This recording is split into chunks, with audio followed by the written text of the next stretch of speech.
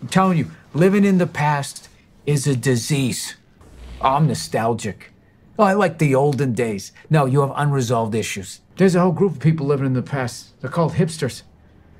Bunch of shitheads walking around dressing like it's the 1880s. Try not to repeat mistakes, but don't keep thinking about it, all right? The only thing worth going back in the past for is music. Sorry, I'm gonna sound old, but I don't think, you know, being a fake singer with the fucking laptop is music.